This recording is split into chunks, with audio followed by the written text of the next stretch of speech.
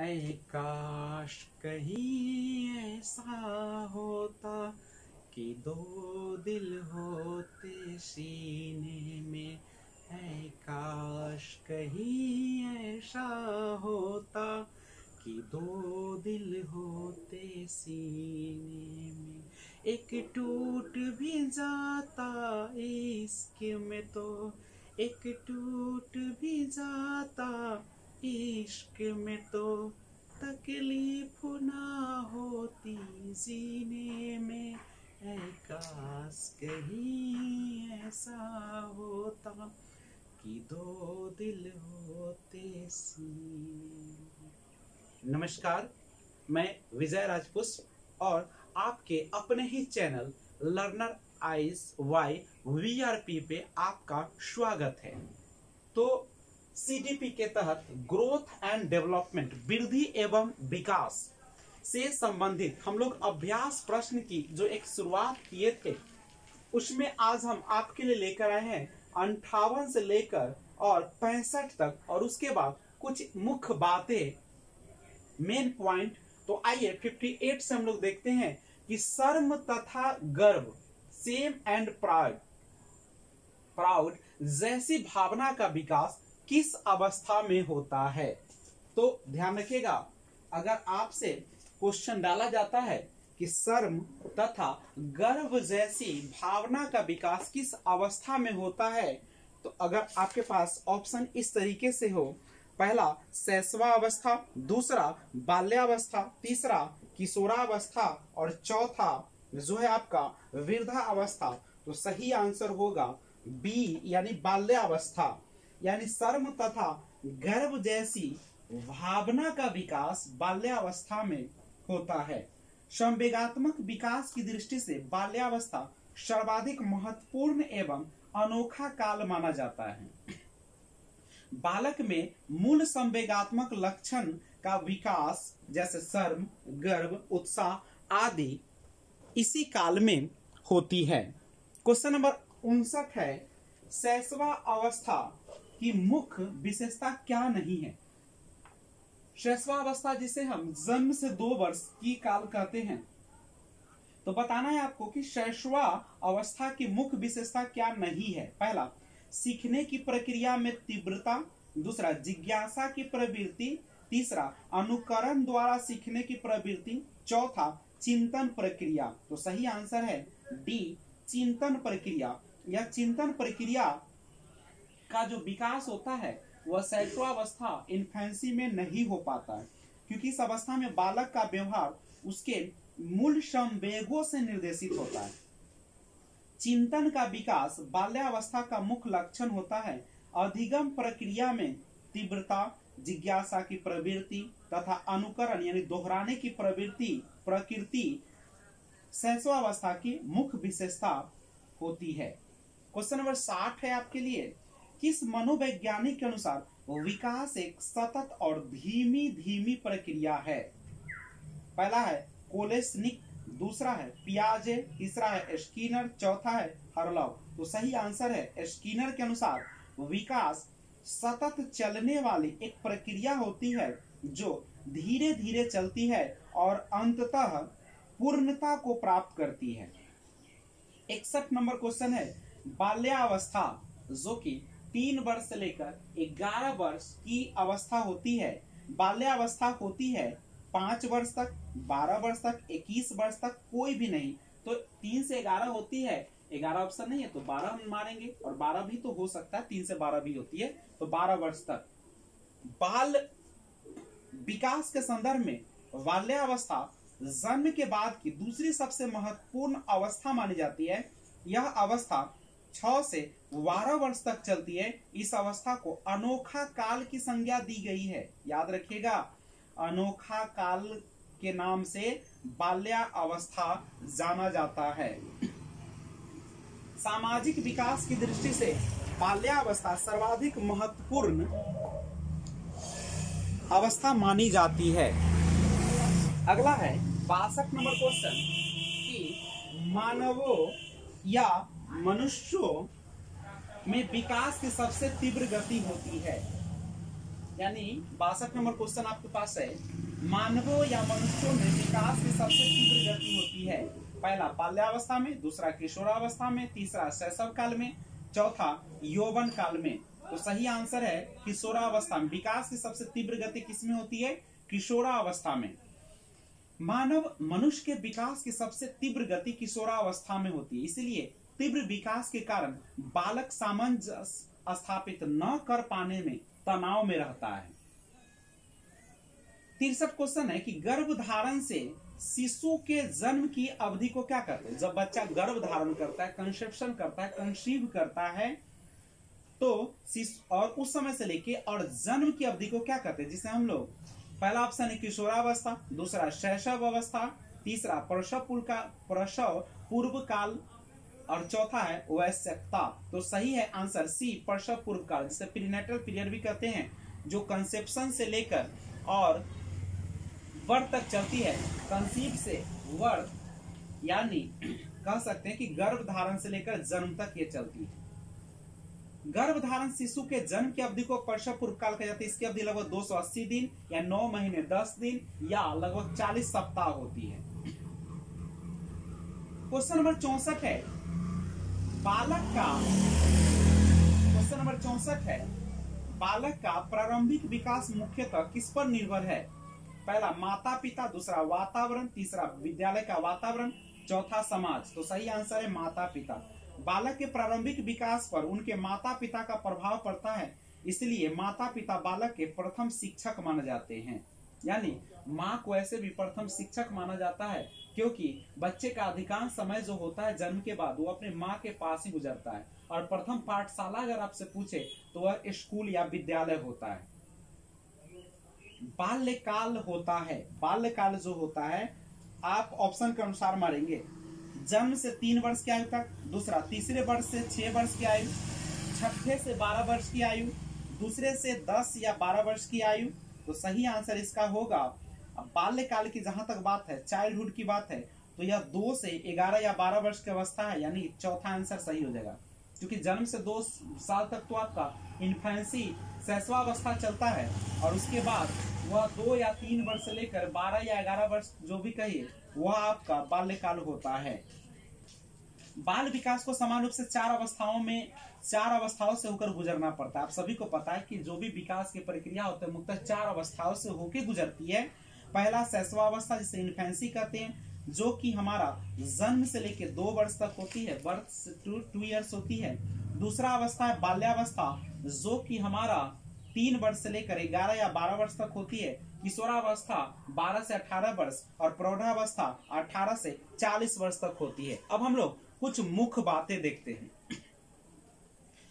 विकास गर्भाधान से लेकर जीवन पर्यंत तक चलता है।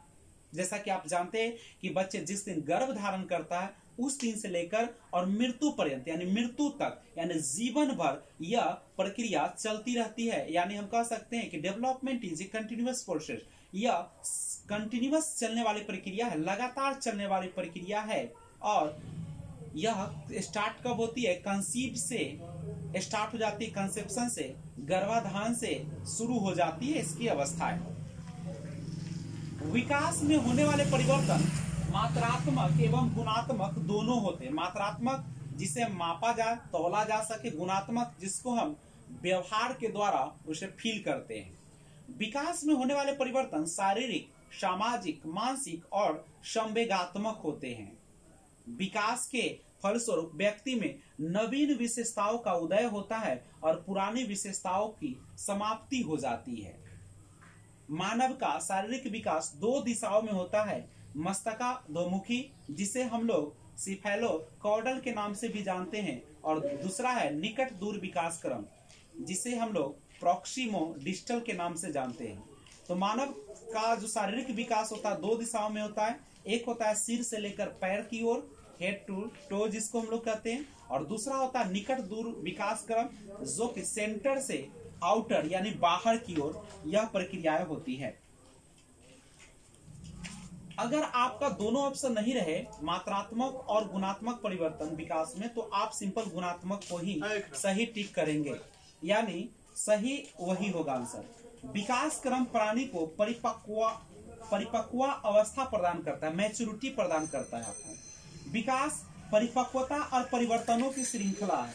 विकास को क्रमिक परिवर्तनों की श्रृंखला कहा जाता है। इसके फलस्वरूप व्यक्ति में नवीन विशेषताओं का उदय होता है और पुरानी विशेषताओं की समाप्ति हो जाती है। आपको पता ही है कि बच्चे के जब दूध वाले दांत गिर जाते हैं तो नए दांत उसके जगह पर आ जाते हैं। विकास में होने वाले परिवर्तन रचनात्मक और विनाशात्मक दोनों प्रकार के होते हैं। कुछ नए जो नए परिवर्तन आते हैं और कुछ जो है समाप्त हो जाते हैं। प्रारंभिक अवस्था में होने वाले परिवर्तन रचनात्मक कंस्ट्रक्टिव होते हैं और उत्तरार्ध में, बाद में होने वाले परिवर्तन विनाशात्मक या डिस्ट्रक्टिव होते हैं। रचनात्मक परिवर्तन प्राणी में परिपक्वता लाते हैं और विनाशात्मक परिवर्तन उसे वृद्धावस्था या मैच्योरिटी की ओर ले जाते हैं। मानव का शारीरिक विकास दो दिशाओं में होता है मस्तका मस्तकाधोमुखी विकास और निकट दूर विकास क्रम मस्तकाधोमुखी विकास सिर से पैर की ओर होता है और भूर्णा अवस्था में पहले सिर का विकास होता है और बाद में धर तथा निचले भागों का विकास होता है। निकट दूर विकास क्रम में शारीरिक विकास पहले केंद्रीय भागों में प्रारंभ होता है, इसके बाद केंद्र से दूर के भागों में होता है। विकास क्रम में कोई भी बालक पहले सामान्य क्रिया करता है, इसके बाद विशेष क्रिया की ओर अग्रसर होता है। प्रत्येक बालक की विकास दर तथा प्रतिमानों में व्यक्तिगत भिन्नता इंडिविजुअल डिफरेंस पाई जाती है। शरीर के विभिन्न अंगों के विकास की गति समान नहीं होती है। विकास, परिपक्वता और शिक्षण दोनों का परिणाम होता है। बालक के विकास में पोषण महत्वपूर्ण भूमिका निभाता है। संतुलित और पौष्टिक भोजन, प्रोटीन, वसा, खनिज लवण, विटामिन, शारीरिक व मानसिक विकास में सहायक होता है। बालक के विकास को प्रभावित करने वाले तत्व पोषण, बुद्धि, यौन, अंतस्रावी ग्रंथियाँ, प्रजाति, रोग एवं चोट, घर का वातावरण पास पड़ोस का वातावरण, विद्यालय का वातावरण, सांस्कृतिक वातावरण तथा शुद्ध वायु एवं प्रकाश।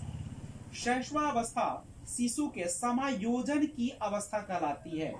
यानी कह सकते हो कि infancy is the stage of adjustable क्योंकि इस अवस्था में शिशु गर्भाशय के आंतरिक वातावरण से निकलकर बाह्य वातावरण के साथ समायोजन का प्रयास करता है। विकास के क्रम में शैशवावस्था की मुख्य विशेषताएँ हैं अपरिपक्वता, प्राश्रितता संवेदशीलता व्यक्तिगत भिन्नता बचपना अवस्था, बाल्यावस्था की विशेषताएँ होती है। इसे हम खतरनाक अवस्था डेंजरस स्टेज अजीबो गरीब अवस्था क्रिटिकल स्टेज आत्मनिर्भरता की अवस्था पीरियड ऑफ़ इंडिपेंडेंसी उत्तरोत्तर वृद्धि और विकास ग्रेजुअल ग्रोथ एंड डेवलपमेंट पुनरावृत्ति की प्रवृत्ति टेंडेंसी ऑफ़ रेपिटेशन आत्म केंद्रिता सेल्फ सेंटर्ड और स्वप्रेमी, नैतिकता का भाव लैक ऑफ़ मोरालिटी अनुकरण की प्रवृत्ति टेंडेंसी ऑफ़ इमिटेशन मानसिक प्रक्रियाओं के विकास में तीव्रता और सामाजिक भावना का उदय development of social feeling it is पूर्व बाल्यावस्था को तीव्र विकास की अवस्था, स्कूल पूर्व की अवस्था, समूह पूर्व की अवस्था और जिज्ञासु प्रवृत्ति की अवस्था कही जाती है। इस लाइन को आप लोग अपने दिमाग में मेमोरी में सेट कर लेंगे। यह बहुत ही इंपॉर्टेंट है और इसे कई बार सीटेट में क्वेश्चन पूछी गई है। एक बार फिर से देख ले, पूर्व बाल्यावस्था को तीव्र विकास की अवस्था कहा जाता है। स्कूल पूर्व की अवस्था कहा जाता है, समूह पूर्व की अवस्था कहा जाता है, और जिज्ञासु प्रवृत्ति की अवस्था कही जाती है। पूर्व बाल्यावस्था में बालक अपनी क्रियाओं में हस्तक्षेप करना पसंद नहीं करता है। विद्रोह की भावना की प्रवृत्ति पाई जाती है, वह स्वतंत्र रूप से अपने अनुसार कार्य करना चाहता है। विकास के क्रम में उत्तर बाल्यावस्था को प्रारंभिक स्कूल की आयु, यानी एलिमेंट्री स्कूल एज यानी लेटर चाइल्डहुड जो उत्तर बाल्यावस्था, उसको प्रारंभिक स्कूल की आयु एलिमेंट्री स्कूल एज चुस्ती की आयु स्मार्ट एज गंदी आयु, डटी एज समूह आयु, गैंग एज सारस अवस्था और नैतिक विकास के एज ऑफ़ मोरालिटी इत्यादि की अवस्था कहा जाता है। विकास के क्रम में किशोरावस्था को सुनहरी अवस्था कहा जाता है गोल्डन स्टेज कहा जाता है। और किशोरावस्था की प्रमुख विशेषताएँ हैं, यह परिवर्तन की अवस्था है, इस अवस्था में विषम लिंगी भावना का विकास होता है इस अवस्था में बालक में कल्पना की प्रधानता होती है। यह तनाव और परेशानी की अवस्था है, यह पूर्ण वृद्धि की अवस्था कहलाती है, यह आत्मनिर्भरता और व्यवसाय चुनने की अवस्था होती है। वृद्धि गर्भावस्था से प्रौढ़ावस्था तक चलती है अडल्टहुड तक। वृद्धि में होने वाले परिवर्तन शारीरिक होते हैं, वृद्धि के दौरान होने वाले परिवर्तन मात्रात्मक होते हैं, वृद्धि में होने वाले परिवर्तन रचनात्मक होते हैं। विकास कभी नहीं समाप्त होने वाली प्रक्रिया है। यह निरंतरता के सिद्धांत से संबंधित है। विकास एवं वृद्धि के मनोवैज्ञानिक सिद्धांत के अनुसार निम्न कक्षाओं में शिक्षण खेल विधि पर आधारित होती है। विकास में वृद्धि का तात्पर्य है बालकों में सीखने, स्मरण तथा तर्क इत्यादि की क्षमता में वृद्धि लाना। गर्भ में बालक को विकसित होने में 280 दिन लगता है। या 9 महीने 10 दिन लगता है, या 40 सप्ताह लगते हैं। नवजात शिशु का भार सात पाउंड होता है। हरलॉक के अनुसार विकास के परिणाम स्वरूप नवीन विशेषताएँ और नवीन योग्यताएँ प्रकट होती है। मैकडूगल ने मूल प्रवृत्तियों को चौदह प्रकार से, चौदह प्रकार से वर्गीकृत किया है।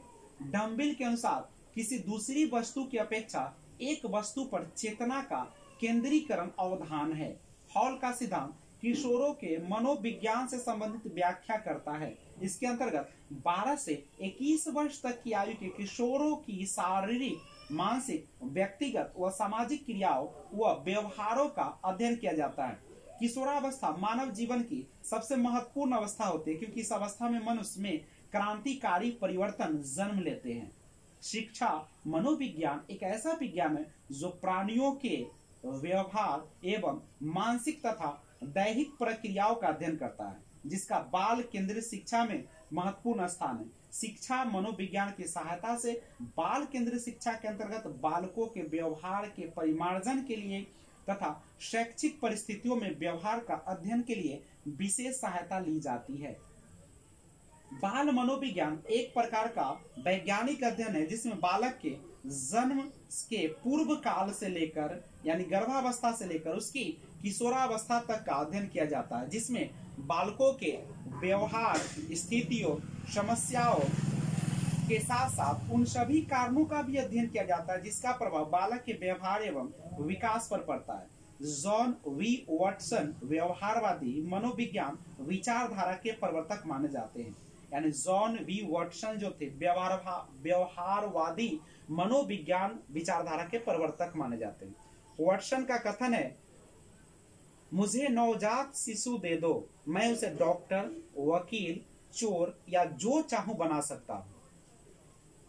अधिगम अभिप्रेरणा तथा पुनर्बलन पर विशेष ध्यान केंद्रित रहना व्यवहारवादियों की प्रमुख विशेषता है। विकास की किशोरावस्था में बुद्धि का विकास अधिकतम होता है। इस अवस्था में विकास से संबंधित प्रमुख विशेषताएँ निम्नलिखित है। मानसिक योग्यताएँ, कल्पना शक्ति, भाषा एवं रुचि, अभिरुचियों का विकास, शारीरिक वृद्धि एवं विकास को अभिवृद्धि कहा जाता है। क्योंकि अभिवृद्धि एक निश्चित समय एवं एक निश्चित सीमा तक चलती है तथा शारीरिक विकास एक निश्चित समय और सीमा के अंतर्गत होता है। वृद्धि तथा विकास की प्रक्रिया को स्पष्ट करने के लिए मनोवैज्ञानिक द्वारा अनेक सिद्धांतों का प्रतिपादन किया गया है। जैसे फ्रॉयड मनोलैंगिक विकास सिद्धांत साइकोसेक्सुअल डेवलपमेंट थ्योरी दिए। पियाजे का संज्ञानात्मक विकास सिद्धांत, यानी पियाजे ने कॉग्निटिव डेवलपमेंट थ्योरी दिए। एरिक्सन का मनोसामाजिक विकास सिद्धांत, यानी एरिक्सन ने साइको सोशियल डेवलपमेंट थ्योरी दिए। और चोम्स्की का भाषा विकास सिद्धांत, यानी लैंग्वेज डेवलपमेंट थ्योरी जो है चोम्स्की के द्वारा दिया गया। और कोहल वर्ग का नैतिक विकास का सिद्धांत, यानी कोहल वर्ग ने हमारा मोरल डेवलपमेंट थ्योरी को दिए थे। तो ये था हमारा ग्रोथ एंड डेवलपमेंट वृद्धि एवं विकास का 65 तक और कुछ महत्वपूर्ण क्वेश्चन तो मैं आशा करता हूँ कि आप इसे अच्छी तरीके से सुने और देखे भी होंगे। और अगर आपको कहीं भी समस्याएँ आती है तो उन सारी समस्याओं को दूर करने के लिए आप क्या करें? आप जो है ना बार बार इस वीडियो को देखें रिकैप करें। और एक काम ज़रूर करें। लाइक शेयर सब्सक्राइब और बेल आइकन ऑल पर ज़रूर प्रेस कर दे ताकि मैं जब भी आपको कोई भी वीडियो अपलोड करूँ तो सबसे पहले आपके पास, केवल आपके पास ही नहीं, जितने भी नोटिफिकेशन जाएँगे, वह तुरंत आपके पास पहुँचेंगे और आप एक कामयाब बन के दिखाएँगे इस जमाने को। तो best of luck thanks for watching keep watching जय हिंद। जय भारत।